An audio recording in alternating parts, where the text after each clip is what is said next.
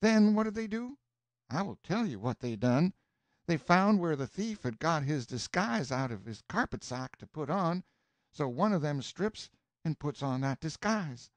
Tom waited a little here, for some more effect, then he says, very deliberate, the man that put on that dead man's disguise was Jubiter Dunlap. "Great Scott!" everybody shouted, all over the house, and old Uncle Silas he looked perfectly astonished. Yes, it was Jubiter Dunlap—not dead, you see. Then they pulled off the dead man's boots and put Jubiter Dunlap's old ragged shoes on the corpse, and put the corpse's boots on Jubiter Dunlap.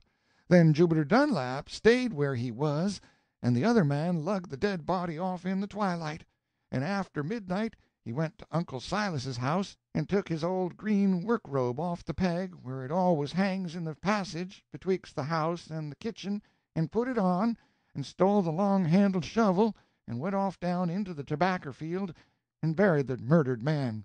He stopped and stood half a minute. Then: "And who do you reckon the murdered man was?" "It was Jake Dunlap, the long lost burglar." "Great Scott!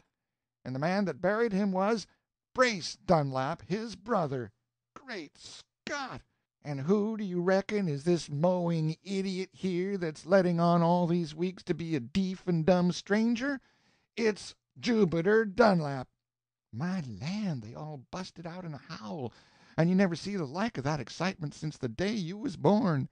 And Tom he made a jump for Jubiter and snaked off his goggles and his false whiskers, and there was the murdered man, sure enough, just as alive as anybody. And Aunt Sally and Benny they went to hugging and crying and kissing and smothering old Uncle Silas to that degree he was more muddled and confused and mushed up in his mind than he ever was before, and that is saying considerable. And next people begun to yell, "Tom Sawyer! Tom Sawyer! Shut up, everybody, and let him go on! Go on, Tom Sawyer!"